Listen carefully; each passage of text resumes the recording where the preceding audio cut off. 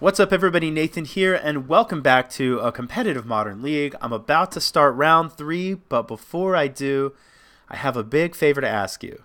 If you've watched my channel at all, you know that I don't ask my viewers for things. I just try to make good content and hope that people naturally like and subscribe and, and do the basic stuff. But I've recently started a new YouTube channel about another big passion of mine. You guys know one of them, it's Magic the Gathering, but the second one is around photography. And specifically, my favorite thing to do in photography is combine it with my love of the outdoors. And I like to go hiking and take footage uh, or take pictures of amazing landscapes. And if you watched my video about Opt, you saw a little bit of that.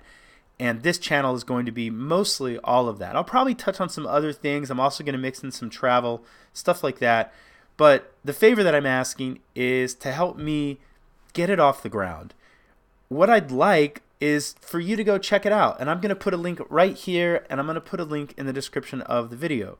Now, if you enjoy the video, I would really appreciate it if you'd like it. And if you want to see more, I would appreciate it even more if you would subscribe to the YouTube channel. Now, you don't have to, and I'm not going to be upset if you don't, but for those of you that really want to support me and have enjoyed the content I've put out on YouTube related to Magic the Gathering, I would really appreciate it if you would give this content a chance.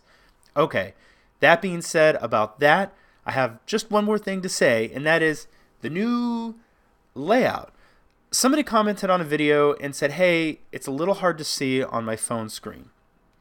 And I looked at the video and realized that I had forgotten to resize my screen, my desktop, so that it filled out my layout as much as possible.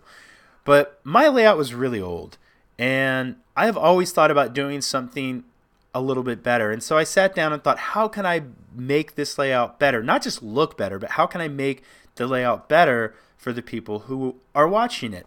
And it took me about 30 seconds to come up with the solution, which is the game really needs to fill the whole screen. It's about the game, and you want people to see just as much of it as possible and make it as readable as possible. So I'm trying something different here, which is instead of having this bar on the side that had some information and had a picture of me, kind of realized that Magic Online has this spot here, this lower, I guess, right hand corner on the screen is always kind of empty. And so I can put, you know, the picture of me down there because I, I, do think people like to see the person playing the game. And then at the top, I can shrink things just in such a way that I have you know my my Instagram and my Twitter at the top and then any other information miscellaneous that I might want to put. So hopefully you guys enjoy this. I'm recording at 1440p for those of you that have a little bit larger monitor. Everything should scale just fine down to 1080p as well. Um, and this should allow you to see more of the screen. Again, that being the idea. In the preview window I normally have, I I could kind of like put it here where this mouse is, but then it's going to cover other things. And I think if I'm filling the whole screen with the game, hopefully I don't need the preview window. Okay, I think I've said enough that isn't playing Magic. I'm going to jump into a game. See you in one second. All right, match is up. And this is obviously a mulligan. We are on the draw, but like tap Sulfur Falls into Serum Visions to try to find more lands seems real uh, real slow. We can't even hold up Spell Snare. I'm, I would almost consider keeping it because I could potentially, if this was like we have a lot of ones, but but the fact that it's just sulfur falls really tips the balance in the other direction. So I'm going to mulligan into. It's not great, but it's okay. We have a lot of removal and one counter spell. We have two lands. It would be better if this was a like a fetch to get another blue land or even just an island. Fetch would be best. We'll go ahead and keep this one. And hopefully um, we are playing a match in which I really want to hit my third land drop, but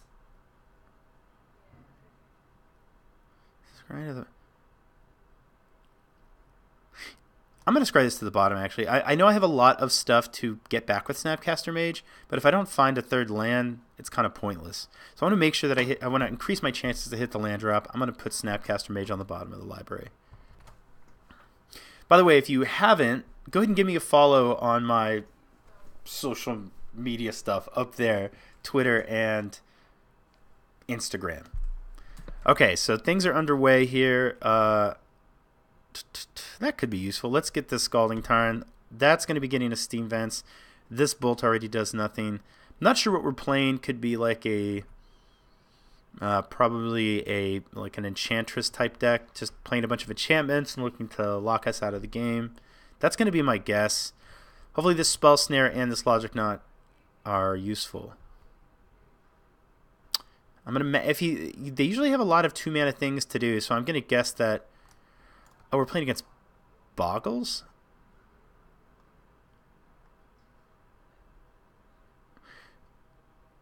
Huh. I don't really want him to draw a card, but I'd rather save this spell snare for the one card that's really. Huh. You know what? I I am gonna spell snare this. Wait a second. Is not. There's no way this is Bogles running Leyline.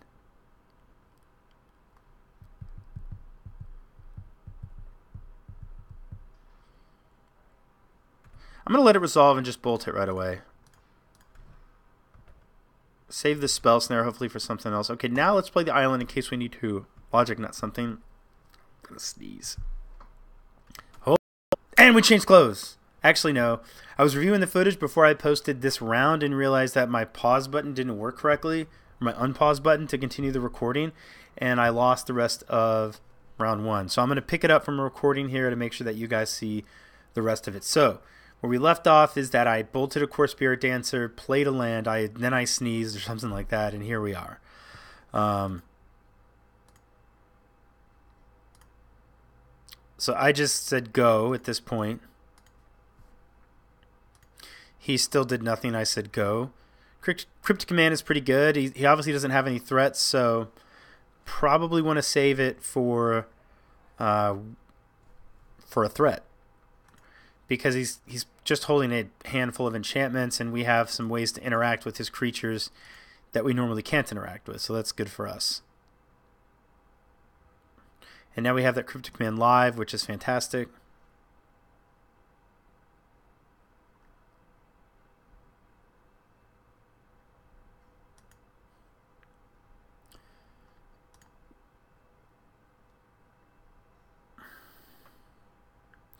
Now I opted to Logic Knot here, and in the recording that you missed, I was kind of waffling between Logic Knot and Cryptic Command. The reason I wanted a Cryptic Command was just so I could um, keep the keep you know get some card velocity going. Instead of drawing one card next turn, I'll effectively have seen two additional ones as well as countering the threat. I also have Logic Knot up. Um, I opted to elected to Logic Knot um, in the event that he was trying to like push through some counter spells and had something like a Ledgewalker and the Gladecover Scout. But I think that was kind of what's the word? I think that was being a little bit um, too safe, and it I think if he had a threat, he would have played it because the longer the game goes, the less that it's in his favor. Like, the longer the game goes with him not doing anything, the more time he gives us a chance to find a way to win. So I think it would have been right to Cryptic Command over the Logic Knot. Because in, we still have Logic Knot up after the fact. Okay, so I Helix, I Helix us. So it, it's even more likely now that we'll be able to um, counter his threats because we can cryptic and then snap cryptic.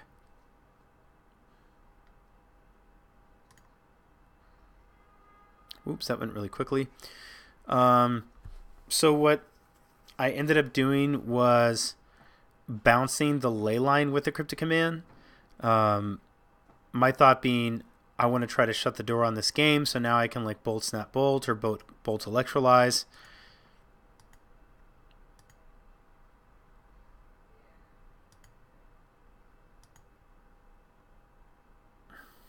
And I and I kind of went back and forth like do I want to save the do I want to save it for threat um,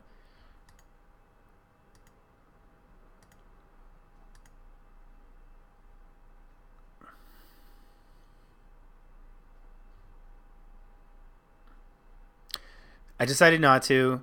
I got my Snapcaster Mage's Path, and I don't want to be too. Um, well, I'll just say that you know now we're in a position where we we can't counter a hexproof creature were he to play one. So now we've kind of what what what I initially said was a good use of cryptic command. We've kind of taken that option away from ourselves, which is just to make sure that we keep countering the few threats that he has. And didn't also think about the fact that this deck does run Path, and we might, might not be able to really get all the way there with Snapcaster Mage. Now, that being said, um, you're pretty you're, you're you're up against the wall pretty badly against this deck because Bogles is by far and away the worst matchup for Jeskai. So he plays a creature, suits it up. We drew Snapcaster Mage, so we have a chance to um, block this Gladecover Scout. And we also get to do something creative with a, with a Cryptic Command. So hopefully he just swings in here.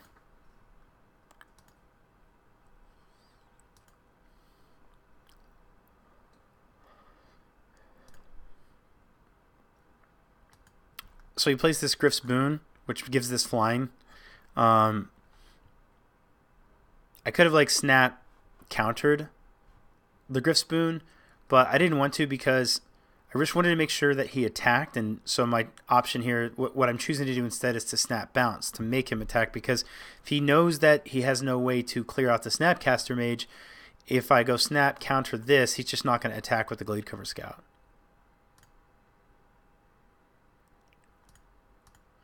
So we play the Snapcaster Mage as planned, target the Cryptic Command.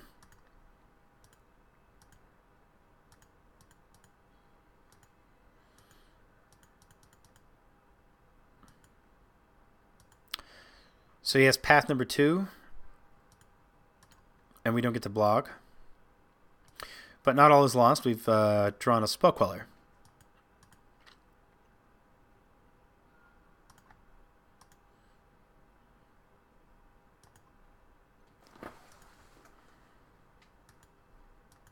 So obviously, clearly, we're going to plan to play this Spell Queller here.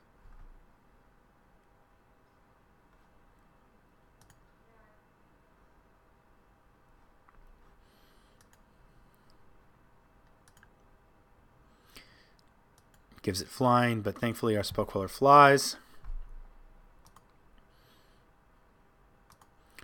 And let's play this and go ahead and block this thing. Get it off the board. Okay, never mind, he has path number three. And we're out of basics.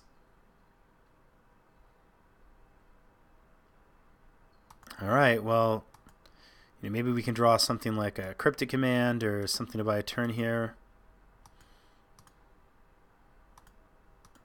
But it's land, and we can't interact with this creature. So that was definitely a mistake on my part. I should have saved the counter spells for the creatures. I was our opponent was like at 18 life. It was too early to try and get aggressive with that Snapcaster Mage. I should have known that he was going to have a path to exile. I don't know that I would have won this game overall, but we would have been in a much better position had we just not used the snap in that fashion. We could have cryptic commanded this. Um, what we should have done is probably just cryptic commanded the first one, and then we had a snap and snap cryptic commanded this one. Um, but we made a mistake. I made a mistake and lost the game. Okay, I'll see you guys at round or game two of this round realized you guys wouldn't be able to see how I sideboarded. Um, so let's see what we got here. I took out four Path to Exiles.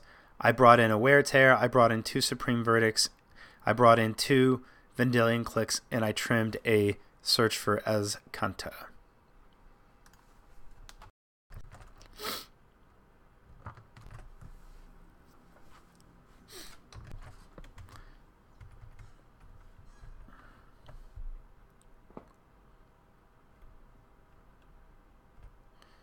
Bogle.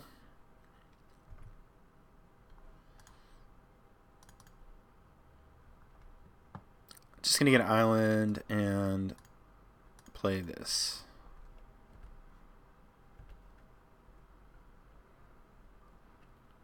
Now I expect to see something like uh, I forget what they're called the the enchantments that make it so that if you destroy this, it doesn't go anywhere.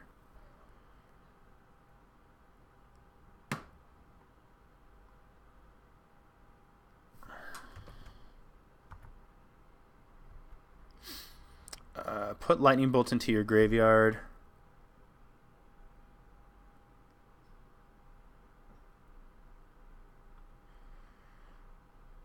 No.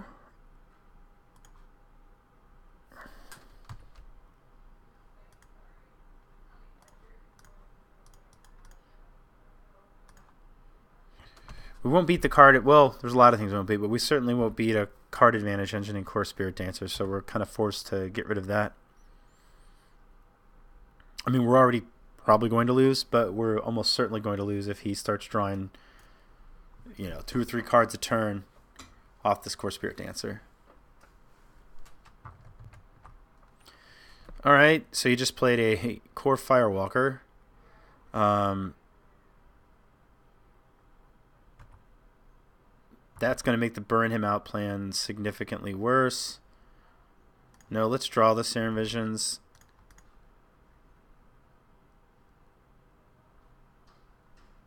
Uh, I'm going to go bottom.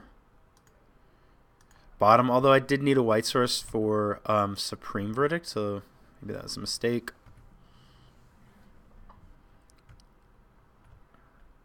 Gonna hold on to this Logic Knot. Also, I don't. Um,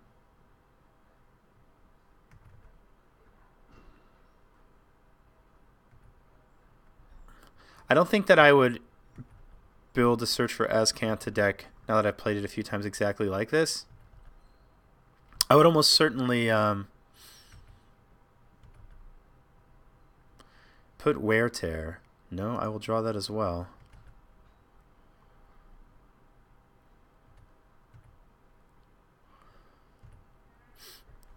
so I would want to put like I think you want to put Thought Scour definitely in the deck. If you're going to be on on this card, I think you want four Thought Scours, and if you don't do anything on turn one, you want to Thought Scour yourself as, Azcanta on two. I might tweak this deck a little bit on my own, but another Kor Firewalker. Uh, does this count as a red spell? I guess not if I just cast the one half. But I guess I'm doing it anyway, so I can just be safe and... Okay, yeah, it's just the white half. Just making sure.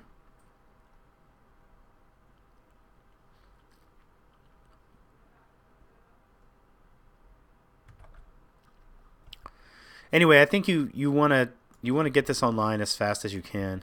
So if he's going to play that white spell we just talked about, obviously we will logic knot that. Yeah, Daybreak Coronet. Uh, for one.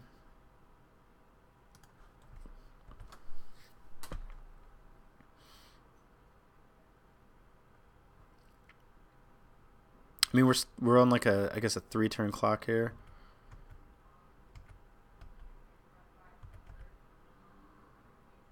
Steam vents. Uh, I'm gonna put that into the graveyard because we need to get another white source and a supreme verdict.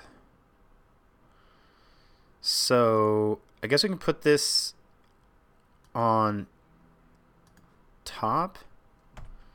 And then we have this cryptic command to tap his team next turn. And we get our second white source in play.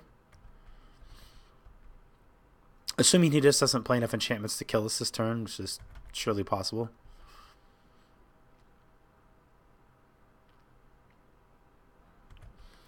All right, well, there goes that idea. well, I guess we, we're going to one here.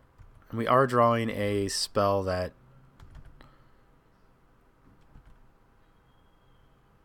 uh, a pain-free land.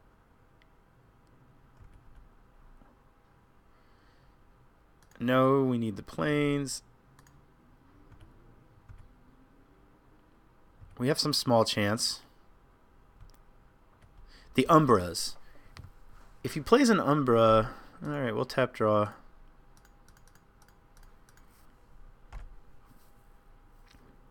Clique's not going to do it.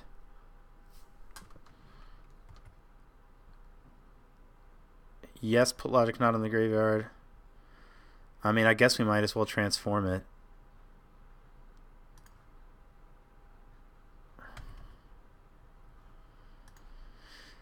Boo. Uh, yeah, we're dead. I guess we could theory block, but then we just die to these guys.